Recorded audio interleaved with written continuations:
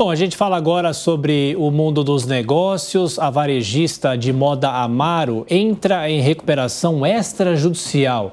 E quem traz essa notícia aqui é o Jornal da Manhã, nosso comentarista de business, o Bruno Mer.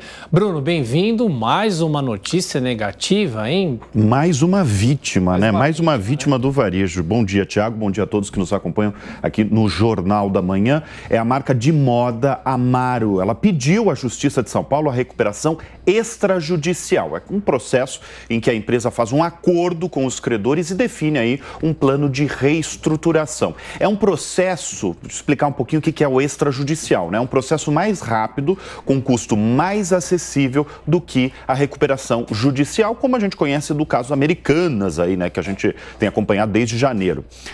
Desde fevereiro, na verdade. Pedido feito, pela Amaro e pedido aceito pela Justiça. Agora a gente vai ver aqui no estúdio quanto a Amaro deve.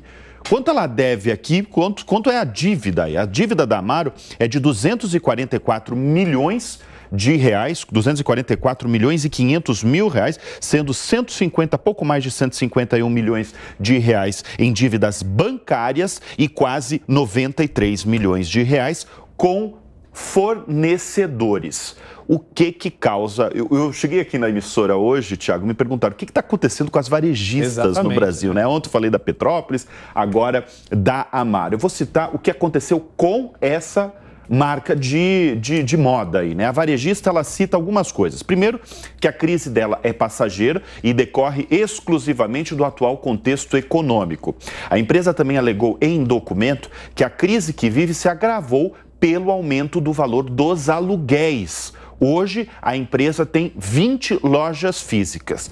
Nós questionamos se haverá fechamento de lojas e a resposta dada pela Amaro é que não haverá posicionamento sobre fechamento. Em um comunicado ao Jornal da Manhã, Amaro diz que, abre aspas, em um cenário de juros extremamente altos e retração de crédito, especialmente para o varejo, Amaro protocolou aí um plano de recuperação extrajudicial como parte do processo de reestruturação do negócio, fecha aspas. Como a gente tem falado, né, Tiago Amaro é mais uma varejista com sérios sérias dificuldades financeiras no Brasil. Mais recentemente, a gente teve aqui a Lojas Marisa, né? Sim. Eu trouxe aqui, que também está trabalhando aí para reestruturar todas as dívidas da Marisa. É, né? e um ponto importante, talvez pouca gente saiba, eu também não sabia, confesso, que a Amaro é uma empresa ligada à área de tecnologia, é isso? Exatamente. Como que é isso? É, exatamente. Ela é uma empresa de tecnologia focado na varejo, moda, na... Em, é, em moda, exatamente, no varejo de moda.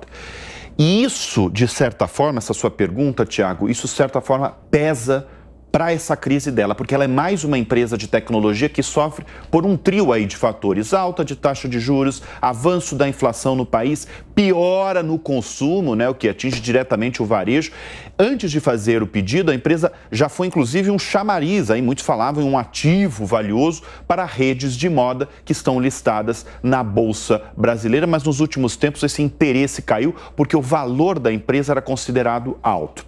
Por que, que ela é uma empresa de tecnologia, Tiago? Tiago. Amaro surgiu em 2012 e inovou aí desde o lançamento ao integrar o comércio físico com o comércio digital. O modelo de vendas funciona focado no comércio eletrônico, sendo que as poucas lojas físicas que ela tem servem para o consumidor provar a roupa antes de comprar. As unidades, inclusive, têm computadores aí que apresentam informações como se uma peça aí tem ou não no estoque. A gente vai seguir acompanhando, vamos ver aí o que, que, que vai dar dessa recuperação extrajudicial da Amaro, mas é mais uma vítima pelo caminho. Pois é, infelizmente. Bruno Meia, nosso comentarista de business, bom dia de trabalho para você. Até mais tarde. É.